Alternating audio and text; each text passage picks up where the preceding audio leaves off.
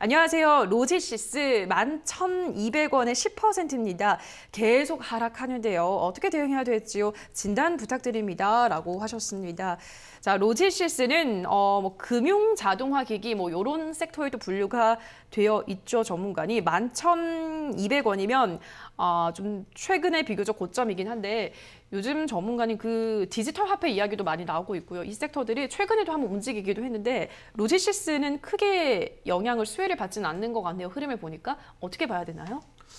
사실 그 로지시스도 말씀하셨다시피 테마는 다 맞습니다. 네. 그런데 최근에 최대주 지분 매도 물량이 좀 있었습니다. 아. 그러다 보니까 주가가 좀 하락하고 있다고 보시면 될 것 같고요. 그 다음에 지금 충분히 많이 올라간 상태입니다. 현재 시총이 한 천억 정도 되는데 일단은 지금 자본 자체가 좀 작은 기업입니다. 화폐 기업 관련돼서도 이슈가 좀 되고는 있지만 지금 재무제표를 보게 되면 지금 매, 영, 자본이 164억에 부채 76억짜리인데요. 근데 영업이익에 대해서 큰 개선이 나오기가 쉽지 않은 구조입니다. 그러니까 영업이익이 크게 개선이 나오지 않는다면 지금 만약에 10억이 나왔을 때가 시총 1000억이라고 잡았을 경우에 퍼100 정도 되거든요. 그렇기 때문에 어, 지금 구간에서는 좀 쉽지 않은 구간이다라고 좀 말씀을 드리고 싶고요. 지금 11,200원이라고 말씀을 해주셨는데 일단은 수급은 이탈 없이 잘 올라갔습니다. 근데 저항이 이제 점차적으로 심해지고 있어서 저 같으면 종목 교체 의견을 좀 제시드릴 수 있을 것 같습니다. 왜냐하면 지금 잘 간다 하더라도 오히려 지금 위에 매물이 쌓여 있다라는 부분 좀 안타까울 수 있기 때문에 어, 종목 교체 지금 자리에서 의견 제시드릴 수 있도록 하겠습니다. 네, 어, 로지시스는 종목 교체를 권유를 해드렸습니다. 어떤 종목으로 교체하는 게 좋을까 하시는 분은 하신 우리 시청자님께서는 잠시 후 12시 반 secret 공략주를 확인해 보시면 또 좋을 것 같고요. 계속해서 다음 상담으로 이어가 보도록 하겠습니다. 다음은 문자 상담입니다. 9666님께서요. 안녕하세요. 수고가 많으십니다. 다산 네트워크스 13,800원에 40%입니다. 지금 손실이 너무 많은데요. 앞으로 어떻게 대응해야 할지 상담 부탁합니다. 라고 하셨습니다. 어, 다산 네트워크스 13,800원이면 역시나 조금 고점 부근에서 어, 1월 초쯤 매수를 하지 않으셨을까 싶습니다. 그 이후로 지금 진짜 계속해서 떨어지고 있고 이 5G 관련 주잖아요. 전문가님. 다산 네트워크스뿐 아니라 5G 관련 주는 차트 흐름이 다 비슷비슷한 것 같아요. 이게 힘을 못 내고 있는데 어떻게 대응해야 될까요?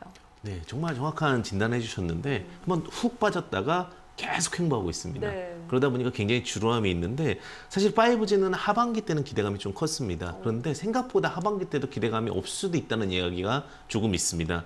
왜냐하면 5G가 제대로 통과 못하는 여러 가지 구간들이 발생을 했고요. 그러다 보니까 보완해야 될 섹터들이라고 보시면 될 것 같습니다. 어, 사실 5G도 결국은 슈퍼사이클로 가는 하나의 구간입니다. 왜냐하면 자율주행이라든지 여러 가지가 됐을 경우에 4G의 속도로는 어, 통제와 제어, 보완 이런 부분이 다 되기가 어렵습니다. 그렇기 때문에 5G 섹터로의 흐름으로서는 기대가 될 수 있고요. 다만 다만 지금 제가 봤을 때는 12,000원 구간이 절대 쉽지가 않습니다. 그래서 어, 지금 상황에서는 너무 큰 기대감보다는 한번 매도하셨다 접근하신 전략이 유효하다고 보고 있고요. 지금 어떻게든 흐름을 만들어 가려고 노력하고 있는 모습은 보이고요. 대신에 12,000원에 좀 손절 목표가 제시를 좀 드리고요. 손절 라인은 8,840원 제시드리겠습니다. 전저점을 이탈한다고 하면 투매가 나올 가능성이 조- 높은 종목입니다. 이 종목 같은 경우는 좀 철저한 대응이 필요한 종목이다라는 부분 특히 지금 중국향이라든지 해외향 매출이 필요한 건데 코로나로 인해서 쉽지 않은 구간이기 때문에 그 부분도 참고하시면 좋으실 것 같습니다.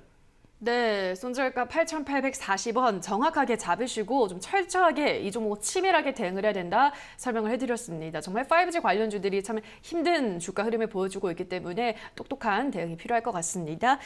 자, 계속해서 다음 상담을 유튜브로 가보도록 하겠습니다. 대한민국 3대장님께서요. 오로라 11,000원 20%인데 대응이 궁금합니다. 라고 하셨습니다. 11,000원에 매수를 하셨고 지금 주가는 1,800원이기 때문에 뭐 200원 정도 차이 아주 약 손실 구간에 있으신데요. 오로라가 전문가님 아마 지난주에도 저희 한번 상담 들어왔던 것 같아요. 요즘 진짜 확실히 상담 들어오는 것만 봐도 알 수 있는 게 kids 테마 관련주들, 이 아이들 관련주들이 어, 주목을 많이 받고 있습니다. 이 종목도 핑크퐁을 만들고 있기 때문에 어, 또 유명한 기업이기도 한데 오로라는 우리 시청자님은 어떻게 대응을 하는 게 좋을까요? 일단은 우리가 그런 얘기 하잖아요. 나는 못 사 먹어도 내 자식은 먹이겠다. 네. 이런 거기 때문에 맞아요. 장난감들은 참 수혜가 큽니다. 저도 깜짝 놀랐던 게 그 장난감 제품을 보려고 했던 것은 아닌데 지나가다가 무슨 토이 뭐 이런 업체들이 있더라고요. 들어가 보니까 정말 무궁무진한 장난감들이 있고요. 근데 중요한 부분은 그러한 장난감들이 절대 싸지 않다라는 겁니다. 최소 뭐 3만 원, 10만 원, 뭐 20만 원, 고가는 100만 원까지도 있는 제품들이 많은데요. 그만큼 어떻게 보면은 성장 가능성, 특히 아이를 위한 사업은 굉장히 좀 항상 두각을 받고 있다 이렇게 보시면 될 것 같고요. 그런 관점에서 봤을 때는 아직까지 뭐 높은 구간은 아니라고 보여지고 있습니다. 또 앞서 이야기했듯이 핑크퐁이라는 이슈도 있고요. 핑크퐁이 이제 완구를 만들고 있죠. 실적에 대한 부분들은 오히려 턴어라운드도 기대가 될 수 있는 만큼 지속적으로 좀 좋게 보셔도 되실 것 같고요. 다만 이 종목이 좀 저항 구간이 크게 있는 자리가 있습니다. 2019년도 8월부터 12월에 중심값을 쭉 그려보게 되면 한 12,000원 부근에서 3,000원 부근 사이에 매물이 많이 쌓여 있습니다. 그래서 그 구간을 좀 참고하셔서 한 12,400원 정도에는 전량 매도 의견을 좀 제시드려야 될 것 같고요. 지금 자리는 이제 전고를 돌파했기 때문에 크게 리스크한 자리는 아닌 것 같습니다. 1,200원 손절 라인 잡고요. 12,400원에 전량 매도 의견 제시드리도록 하겠습니다. 네, 손절가는 1,200원, 목표가는 12,400원, 오로라 제시를 해드렸습니다. kids 테마 관련주들 앞으로도 주목을 해보자라는 의견까지 덧붙여 드리도록 하고요. 다음 상담으로 가보도록 할게요. 이번에는 아, 문자로 보내주셨네요. 8185님께서 이노 와이어리스 5만 원에 11%라고 보내주셨거든요. 어, 앞서 다산 네트웍스를 보내주신 시청자분보다는 손실폭이 크진 않지만 이노 와이어리스, 다산 네트웍스 정말 차트 모양이 거의 뭐 유사합니다. 전문가님. 역시나 5G 관련주인데 어떻게 대응을 해야 될까요? 어, 근데 이 종목은 조금 다산 네트워크에서 비교가 될 수가 있는 게 오. 영업이익이 지금 잘 나오고 있습니다. 아, 그래요. 예, 스몰셀 부분에서는 5G 외에도 추가적인 매출이 나오고 있기 때문에 기대해봐도 좋다 이렇게 말씀드리고 싶고요. 이, 왜 그런 얘기를 드리냐면 2019년도에 영업이익이 153억이 나왔고요. 2020년도에 영업이익이 138억이 나왔습니다. 그리고 자본이 1000억에 부채 213억이기 때문에 굉장히 단단한 기업이라고 보시면 될 것 같아요. 그러다 보니까 이 부분은 영업이익만 조금만 turnaround 되면 다시 한번 5G로서 두각은 받을 수 있을 것 같고요. 현재 뭐 크게 무리수 없는 구간입니다. 시총이 3,200억이면 어 제가 봤을 때는 어 이 종목 같은 경우는 어 조금만 더 이제 5G 시장에 살짝 개화만 돼도 더 많이 갈 수 있는 종목이라고 보여지고 있고요. 어 지금 기준선을 맞고 올라가고 있습니다. 기준선 맞고 다시 turnaround 되고 있는 상황이기 때문에 크게 어려움은 없습니다. 하지만 저항이 좀 보입니다. 저항이 6만 원에 좀 많이 있기 때문에 6만 원은 확실한 변화가 있어야 되는데 그러할 때까지 시간이 좀 필요할 것 같습니다. 그래서 목표가 6만 원 제시 드리고요. 손절 라인은 조금 길게 보셔도 되실 것 같은데 한 3만 8천 원까지 보셔도 될 것 같습니다. 이 종목은 오히려 모아간다라고 하면 다른 5G보다는 실적적으로 좀 매력적이지 않을까 이렇게 생각이 듭니다.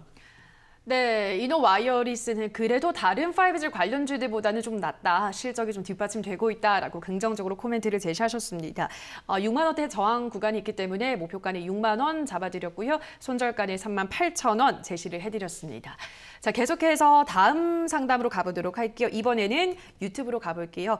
바세님께서 SK텔레콤 28만 원, 비중은 5%입니다. 최근에 매수를 했는데 통신주 어떤가요? SK텔레콤 상승 가능성이 있나요? 라고 하셨거든요. 28만 원 지금 딱 이 시각 28만 원을 지나가고 있습니다.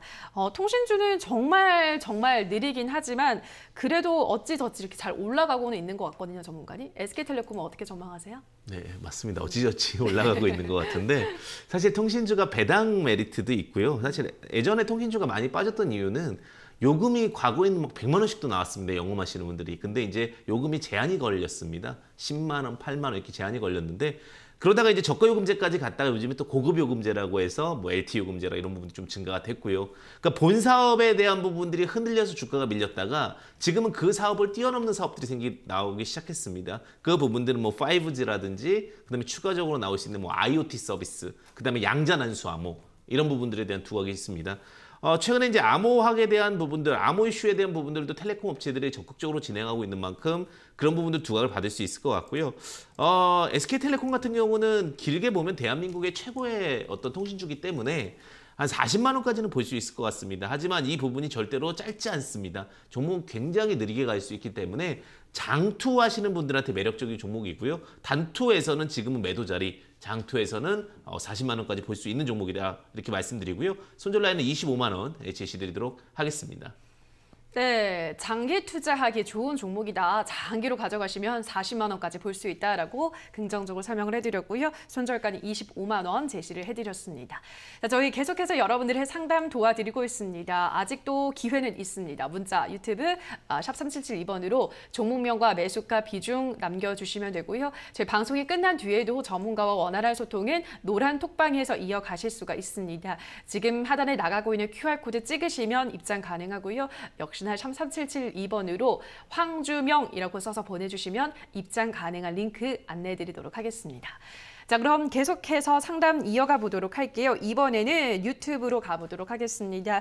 어, 우리 제잉님께서 콜바 BNH 53,750원의 비중은 8%입니다. 지금 위치에서 조금씩 추매하고 있습니다. 앞으로의 전망 부탁드립니다. 라고 하셨는데요. 53,750원, 지금 이 시각 53,700원이니까 어, 뭐 오늘 들어가셨거나 최근에 이제 이 가격에서 계속 매수를 해보겠다라는 의지를 갖고 있습니다. 비중도 지금 딱 8% 정도밖에 되지 않아서 콜마 BNH는 또 이 건기식 관련 주조 전문가님 전망 어떻게 보시나요? 네, 굉장히 중요한 부분인데 요즘에 저도 건강기능식품을 한 여섯 개 일곱 개 먹는 것 같습니다. 아, 그래요? 네, 이제 건강, 건강에 대한 부분이 아프지 말아야겠다는 생각이 굉장히 아, 많은데 중요하죠. 네, 혹시 건기식 드시나요? 저는 요즘 저도 오메가 3를 챙겨 먹고 있긴 해요. 네, 그러니까 이게 왜 이렇게 됐냐면 음. 코로나 때문에 맞아요. 이렇게 된 겁니다. 음. 사실 코로나로 인해서 면역성에 대한 이슈 때문에 그렇게 되는 건데요. 콜마 BNH 같은 경우는 면역성에 대한 이슈가 굉장히 좀 많이 있고요. 전제 아, 그렇기 때문에 영업이익도 굉장히 좋아졌습니다. 영업이익이 천억 정도 이상 작년도에 나왔고요. 그 다음에 지금 자본도 3,200억 정도가 있는데 현재 시총이 1조 6천억입니다. 근데 시총이 좀 많이 올라가 있다라는 게 조금 아쉽습니다. 왜냐하면 지금 자리에서 더 올라갈 수 있느냐에 대한 부분들은 이제 화장품에 더 이제 더, 어, 매출이 나와야 될 것 같습니다. 애터미라고 해서 어떤 방문 판매라든지 이런 쪽에 좀 특화되어 있는 화장품 업체가 있는데요. 그 애터미 즉 그런 관련된 모멘텀까지 갔을 때 주가 상승에 대한 부분을 고민해 본다면 제가 봤을 때는 2조 정도라고 보고 있습니다. 지금 자리에서 20% 정도면 한 6만 3, 4천 원. 그 이상은 좀 어려울 것 같습니다. 그래서 목표가는 6만 3, 4천 원 정도, 6만 3천 원 이렇게 좀 제시드리고요. 손절 라인은 4만 8천 원 제시드리겠습니다. 목표가 6만 3천 원 제시드리겠습니다. 네, 콜마 BNH 목표가 6만 3천 원 제시를 해드렸습니다. 자, 계속해서 다음 상담 가보도록 할게요. 이번에는 문자입니다. 4852님께서 안녕하세요. 대덕전자 15,300원에 13% 손절을 해야 될지 아니면 더 기다려 봐야 하는지 궁금합니다. 라고 하셨거든요. 자, 대덕전자는 뭐 1분기 실적이 개선될 거다라는 좋은 소식은 전해지고 있는데 주가는 참 지금 지지부진한 상황이거든요. 굉장히 지루한 모습을 보이고 있는데 왠지 또 전문가는 이러다가 한번 빵 하고 띄울 것 같기도 하고 어떻게 봐야 될까요? 네, 아직 그 빵하고 뜰 힘은 남아 있습니다. 아. 힘은 남아 있는데 네. 시간이 오래 갈수록 지연될 수는 있을 것 같고요. 현재 이제 7,017억 정도의 시가총액을 갖고 있는데 이제 그겁니다. 1조로 갈 수 있느냐 없느냐. 쉽지는 않을 것 같습니다. 한번 뜨게 되면 16,000원 정도에서 계속해서 저항이 좀 보이거든요. 왜냐하면 16,000원 부근이 8, 9천억 정도 되는 구간이기 때문에 16,000원 목표가를 잡으셔야 될 것 같습니다. 실적적인 부분들은 뭐 IT 계열들 지금 다 실적 좋아지고 있기 때문에 어, 뭐 반도체 사이클에서는 굉장히 좋습니다. 하지만 삼성전자가 지금 주춤하는 구간 안에서 크게 가기는 어렵고요. 그래서 목표가는 16,000원, 손절 라인은 13,000원 제시드리겠는데 삼성전자 사이클과 이 종목 좀 같이 보셨으면 좋겠다. 삼성전자의 사이클과 동행하는 종목이다. 이렇게 보시면 좋으실 것 같습니다. 네, 대덕전자는 삼성과 동행을 하기 때문에 계속해서 삼성과 흐름을 같이 지켜보자 의견을 제시를 해드렸습니다. 자, 계속해서 다음 상담으로 가보도록 할게요. 이번에는 유튜브 댓글로 남겨주셨습니다. 예쁜 할매님께서요. 그린케미칼 매수는 13,900원에 10% 매도 시기 좀 알려주세요. 라고 하셨습니다. 어, 일단은 수익을 보고 있으십니다. 수익을 축하드리고요. 그린케미칼은 전 거래일 거의 장 마감 직전에 갑자기 급등을 했습니다. 이 탄소 배출권의 거래량, 가격이 급증하고 있다는 소식이 전해지면서 탄소 배출권 관련주로 엮여있는 이 종목이 수혜를 받은 건데요. 오늘도 상승세가 이어지고 있습니다. 4%가량 지금도 올라가고 있는데 자 그린케미칼 앞으로의 전망은 어떻게 보시나요? 예, 요즘에 이제 케미칼 관련된 종목 이 굉장히 좋고요. 특히 그린 케미칼 같은 경우 계면활성제도 만듭니다. 계면활성제는 그냥 때를 빼는 성분을 말씀드리면 될 것 같고요. IT 쪽으로도 그렇고 여러 가지 화학 제품들은 요즘 많이 쓰이고 있습니다. 반도체 사업과 함께 할 수 있는 게 반도체를 만들려면 다양한 용액이 필요하게 되는데 그러한 성분들을 만드는 업체들이 대부분 케미칼 업체입니다. 그래서 뭐 시장에서는 반도체 사이클이 잘 가면 요즘에 화학 사이클도 잘 갑니다. 그러니까 예전처럼 화학이 단순히 옷을 만드는 제품뿐만 아니라 화학 성분을 통해서 다양한 반도체라든지 그다음에 다양한 소재들에 대한 부분들도 활용 가능했음을 보여주고 있는 종목이라 고 보시면 될 것 같고요. 현재적인 주가 흐름을 볼 때는 더 상승 흐름이 나올 수 있을 것 같습니다. 시총 기준으로 봤을 때는 한 20% 정도 상승 흐름은 더 있다라고 보여지고 있고요. 그런데 18,000원이 딱 적정 주가라고 저는 보고 있습니다. 그래서 18,000원에서 밀린 것이 아닌가라는 생각이 드는데 18,000원 기준으로 해서는 전량 매도 의견 좀 제시드려야 될 것 같습니다. 그래서 목표가는 18,000원 제시드리고요. 순절가는 12,000원 제시드리도록 하겠습니다. 네, 18,000원 목표가를 제시를 해드렸습니다. 그린 케미칼 조금 더 수익을 챙기시고 나오시면 될 것 같네요. 다시 한번 축하드립니다. 자, 계속해서 다음 상담 이어가 보도록 할게요. 이번에도 유튜브로 가보도록 하겠습니다. 아, 이번에는 이혜경 님께서 달아주셨습니다. 웹젠 39,000원에 10%입니다. 올라가다가 지금 떨어지고 있는데 지금 매도를 해야 할까요? 라고 하셨거든요. 39,000원 10%면 어, 오늘 지금 한 6%가량 밀리고 있긴 하지만 그래도 수익권에 있으시긴 한데 뭐 매수가도 좋은 구간에서 잘 잡으신 것 같거든요. 설마 여기까지 더 떨어지진 않겠죠, 전문가님? 전략을 어떻게 세워야 될까요? 굉장히 중요한 전략이 필요할 것 네, 같은데요. 맞아요. 지금 게임은 근데 3년 이상 전 좋아진다고 보고 있거든요. 예전에 제가 그 쉽게 하면 전기차 얘기한 안 좋다 안 좋다 리포트 많이 나올 때 3년 이상 좋다라고 얘기했거든요. 그리고 지금 전기차는 계속해서 좋아지고 있고요. 전기차는 아직도 근데 3년이 남았습니다. 그리고 지금 게임이 저는 3년 이상 좋아질 것 같은 게 웹툰을 보면 알 수 있다라고 얘기를 드리고 싶은 게 요즘에 그 성인용 웹툰 뭐 애들 웹툰 다 뭐가 나오냐면 게임을 속에서 자아가 들어가서 활동하는 그런 게임들이 그러한 웹툰들이 많이 발생되고 있습니다. 영화 같은 경우도 지금 보게 되면 이제는 결국 현실에 대한 가상현실과 현실에 대한 게 모호해지기 시작했거든요. 그런 관점에서 봤을 때는 VR 시대도 있고요. 그 다음에 전체적인 게임 시장 자체가 언택트 시대 이후에 예전 같았으면 저희가 뭐 딱지치기를 하든 뭐 팽이치기를 하든 이랬는데 요즘은 다 게임합니다. 어디서 만나서 어디 무슨 서버에서 만나자 다 이러거든요. 그런 만큼 어떻게 보면 게임 시장에 대한 확대는 크고요. 특히 웹젠은 중국 판호 이슈가 있었습니다. 중국 판호 모멘텀도 있기 때문에 앞으로도 웹젠은 성장 가능성이 있다라고 보여지고 있고요. 특히 뮤 IP가 굉장히 중국 쪽에서도 인기가 있는 것으로 좀 알고 있습니다. 현재 시가총액이 1조 7천억인데 한 2조 5천억까지는 괜찮을 것 같습니다. 그렇다고 하면 한 6만 원 정도, 6에서 7만 원 정도 상승 흐름은 남았다고 보고 있고요. 목표가는 6만 원 제시 드리고요. 손절 라인은 만약에 매수 단가까지 온다면 어쩔 수 없이 잘라야 되겠지만 3만 어, 9천 원 드리겠는데 어쨌든 좀 지금은 단기 상승에 따른 어, 조정이다라고 정도로 보시면 될 것 같고 목표는 6만 원 예, 제시 드리도록 하겠습니다. 네, 목표가 6만 원 잡아드렸습니다. 웹진 어, 긍정적으로 역시나 게임주도 긍정적으로 전망을 하셨기 때문에 앞으로의 추이도 지켜보시기 바랍니다. 다음 상담 문자로 가보도록 할게요. 7072님께서 보내주셨습니다. HDC 현대산업개발 29,500원 목표가가 궁금합니다. 라고 하셨거든요. 요즘 건설주들의 흐름이 정말 좋은데 오늘은 살짝 쉬어가고 있습니다. 이 종목은 하반기부터 이 수주가 좀 이어질 거다라는 또 리포트가 오늘 나왔더라고요. HDC 현대 산업개발 목표가 어떻게 잡아보면 좋을까요? 사실 건설주는 굉장히 좀 어려운 섹터에 포함이 됩니다. 어... 건설 경기 민감 지표, 경기 민감 지표에 포함되어 있기 네. 때문에 어, 재무제표상으로 보게 되면 지금 영업이익이 한 5,800억 정도 나오고 있고요. 자본도 어, 2조 7천억 정도로 단단한 회사입니다. 뭐 부채가 3조 3천억 정도가 나오고 있는데 제가 볼 때는 일반적으로 매출액의 2분의 1값 정도면 시총에 대한 가치는 충분히 평가를 받았다라고 보고 있기 때문에 지금 매출액이 한 4조 규모 선에서 지금 시총이 한 2, 조입니다 2조 정도라고 했을 경우에 이게 지금 뭐 더 갈 수 있느냐, 뭐 저평가 되었냐 이렇게 논의할 수 있겠지만 바닥에서부터 지금 한 3배 가까이 올라왔기 때문에 저는 요 정도 구간이면 그냥 만족스러워야 되지 않을까라는 생각이 들어서 오히려 지금 뭐 이게 20% 30%갈 수 있느냐 그리고 시장에 대한 변화에 대해서 대응할 수 있느냐는 관점으로 봤을 때 코스피 200 종목이기 때문에 또 공매도 이슈도 있거든요. 그래서 저는 종목 교체 의견을 좀 바꿔야 될 것 같습니다. 그래서 어, 뭐 실적 모멘텀도 좋고 다 좋으나 충분히 많이 올라왔다. 종목 교체 의견을 좀 바꾸자. 이렇게 좀 제시드리도록 하겠습니다. 네, 전문가님은 충분히 많이 올라왔다라는 의견입니다. 참고를 해보시기 바라고요. 다음 문자로 가보도록 할게요. 이번에는 5425님께서 안녕하세요. 엔지캠 생명과학 13만 7,500원 25% 어떻게 대응을 할까요? 라고 하셨는데요. 어, 이 종목은 지난 2월부터 꾸준히 오름세를 이어오면서 벌써 14만 원까지 올라섰습니다. 우리 시청자님도 수익을 약간은 보고 있으시긴 하거든요. 어, 목표가 어디까지 잡아보면 좋을까요?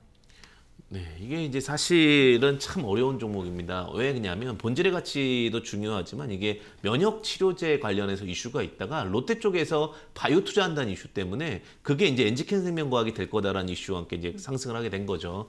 예, 충분히 상승 흐름에 대한 기대치는 있다라고 보시면 될 것 같은데 사실 지금 1조가 넘어갔습니다. 1조가 넘어갔는데 얼마의 딜가가 있는지는 아직까지 미지수입니다. 그죠? 딜가에 대한 부분들이 어떻게 결정 날 때까지는 확실하게 답변을 드릴 수는 없을 것 같고요. 다만 이제 롯데가 적극적으로 바이오를 시작했다라는 부분에서는 같이 프리미엄 가치는 부여가 될 수 있을 것 같습니다.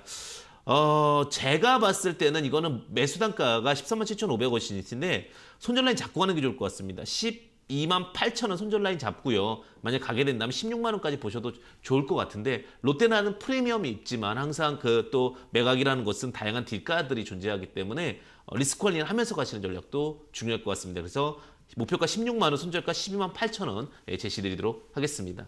네, 목표가는 16만 원, 손절가는 12만 8천 원 제시를 해드렸습니다. 자, 계속해서 다음 상담은 유튜브로 가보도록 하겠습니다. 럭키님께서 모트렉스 7,200원에 15% 대응 부탁합니다. 라고 하셨거든요.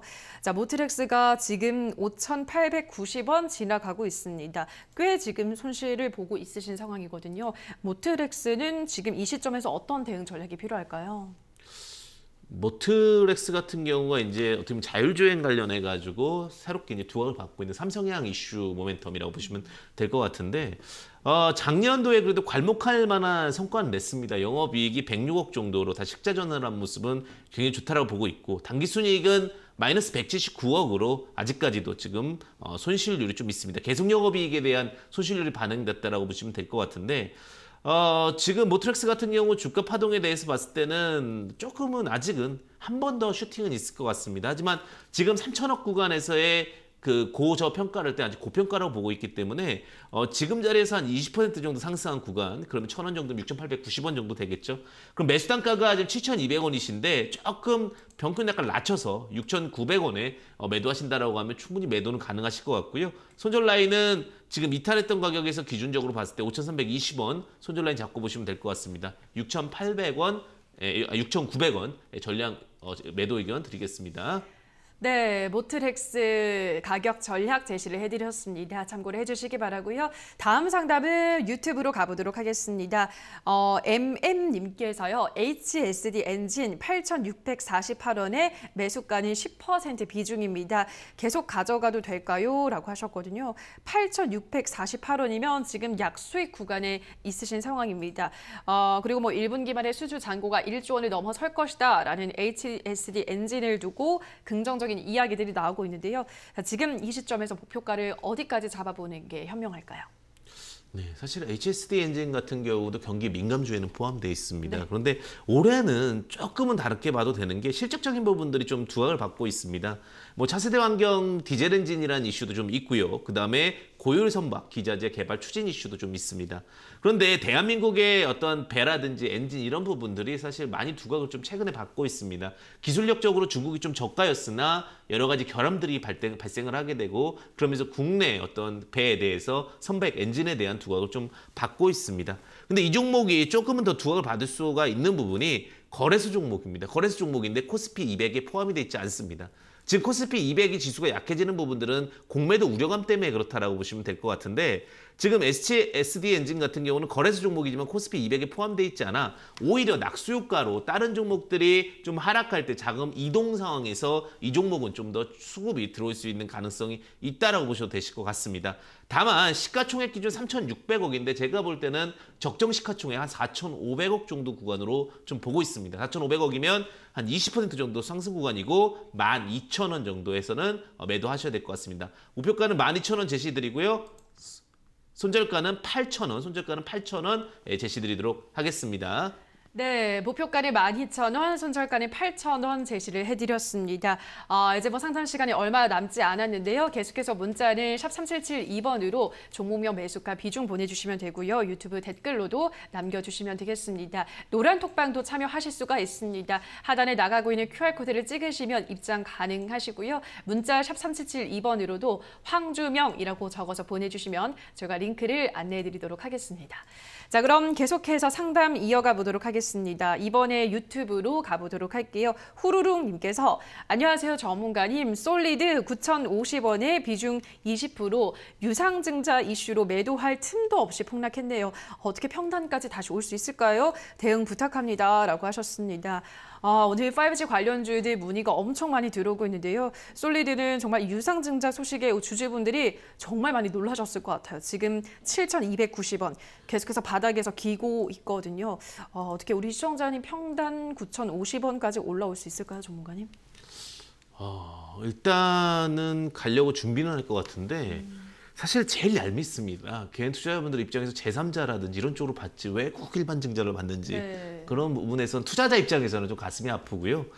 그 쏠리드 같은 경우는 영업이익 마이너스 169억 작년도에 나오게 되면서 조금 리스크했던 것 같습니다. 그러니까 항상 제 실적을 체크하라고 많이 말씀을 드리는 게 실적이 turnaround 되면 좋은 건데 실적이 마이너스가 유지되면 굉장히 악화되는 상황으로 바뀌게 됩니다. 근데 솔리드 같은 경우 아마 시설 운영자금 쪽의 자금으로 좀 보여지고 있습니다. 결국은 5G에 대한 카파는 커지고 있는 상황은 맞습니다. 커지고 있는 상황은 맞지만 그 부분에 대해서 주식수가 늘어난다는 우려감 그리고 그 단가가 낮다라는 우려감 때문에 주가가 하향 추세로 좀 바뀌었다라고 보시면 될 것 같고요. 어, 지금 유상증자 이후에 이 자금이 다시 쓰임에 있어서는 어, 두각을 받을 수밖에 없고 지금 상황에서는 오히려 여유 자금이 있으시다면 유상증자 물량을 받으셔가지고 평균 단가를 희석시키는 상황밖에 어, 방법은 없을 것 같습니다. 왜냐하면 솔리드도 저력은 있는 기업입니다. 저력은 있다라는 것은 과거에 어, 좋은 모습들을 보였기 때문에 유상증자 이후에 어려움을 털어내고 다시 갈 수 있다 이렇게 말씀드리고요. 어, 평균 단가 이런 부분들은 이제 희석이 될 수 있기 때문에 그 과정 속에서 그냥 본전 매도 의견 좀 제시드리겠습니다. 음. 유상증자 받으시고 본전 매도 전략 매도 의견 네, 제시드리도록 하겠습니다. 네, 유상증자 받고 본전에서 매, 매도를 하자라는 전략 제시를 해드렸습니다. 우리 시청자 힘내시기 바라고요. 다음 상담도 문자로 가보도록 하겠습니다. 너굴님께서 LS전선 아시아 7,950원에 비중은 11%입니다. 목표를 어느 정도 잡아보면 좋을까요? 라고 하셨는데요. 이 종목은 오늘 잠정 실적을 발표를 했습니다. 1분기 매출은 1,632억 어, 원, 전분기랑 비슷한 수준인데 영업이익이 91% 증가를 했다는 소식을 전해왔고요. 다만 주가는 지금 지금은 약보 합세를 보여주고 있고 우리 시청자님은 그래도 약간의 수익 구간이 있으신데 자 앞으로 목표가는 LS 전선 아시아 어디까지 잡아보는 게 좋을까요? 어, 이거 좀 많이 저평가되어 있는 종목이거든요. 어, 그래요. 네, 근데 이제 부채 비율이 높아서 그런 것 같고요. 사실 우리나라가 이제 전선 쪽이나 그 다음에 약간 전압 쪽 이런 쪽에 좀 사실은 좀 박하게 줍니다. 음. 좀 그래서 제가 주가 폭에 대한 부분들 좀 고민하고 있습니다. 사실 영업이익 같은 경우는 어, 작년도에 161억, 그러니까 260억에서 160억 사이를 오고 가는 종목이기 때문에 굉장히 좀 저평가되어 있는데 어, 제가 봤을 때는 그렇다 하더라도 이 종목이 막, 막 급등하거나 변동성이 크거나 이러진 않을 것 같아요. 다만 지금 코스피 200 종목이 일부 이동해야 되는 상황에서 거래소 종목입니다. 이 종목도 거래소 종목이기 때문에 일부 이동 가능성에 대한 부분 열어둘 수 있을 것 같고요. 8,260원에는 어, 매도하실 수 있으실 것 같습니다. 그래서 목표가는 목표가는 8,260원 제시드리고요. 손절에는 7,600원 제시드리는데 너무 길게는 가져가지 마십시오. 이 종목은 어, 수급이 많이 있어도 쉽게 가는 종목은 아닌 것 같습니다. 알겠습니다. LS 전선 아시아 가격 전략 잡아드렸고요. 계속해서 다음 문자 가보도록 할게요. 이번에는 3900님께서 어, 삼성 SDI 68만 5,300원에 50% 66만 원까지 올라왔다가 내려가네요. 언제쯤 팔까요? 라고 하셨거든요. 어, 지금 65만 6천 원 지나가고 있습니다. 삼성 SDI 어떤 전략이 필요할까요? 3대장이죠. 아까 3대장에서 놀았는데 네. 삼성 SDI, LG화학, SK이노베이션. 네. 근데 1대장은 LG화학이고요. 2대장이 삼성 SDI, 3대장이 SK이노베이션입니다. 근데 1대장의 시총의 적정 가치는 60조라고 제가 말씀드렸고요. 삼성 SDI의 2대장의 시총 가치는 50조라고 말씀을 드렸어요, 제가. 그럼 지금 삼성 SDI가 시총이 45조 5천억이면 10% 정도 더 올라갈 수 있습니다. 그래서 제가 그때도 한번 말씀드렸었는데 71만 원 넘어가면 매도 의견으로 바꾸셔라 라는 이야기 드렸거든요. 그러니까 다시 한번 71만 원 넘어오면 매도하십시오. 이 코스피 200 종목이기 때문에 공매도가 열려 있는 종목이에요. 그래서 71만 원 매도하시면 좋을 것 같고 손절 라인 62만 원 제시드릴 것 같습니다. 그럼 이제 궁금하실 것 같아요. 그럼 3대장 SK이노베이션의 적정 시총 가치는 얼마냐? 35조에서 40조다. 참고하시면 좋으실 것 같습니다. 네, 2차 전지 전기차 3대장에 대한 의견 제시를 해드렸습니다. 꼼꼼하게 참고를 하시기 바라고요.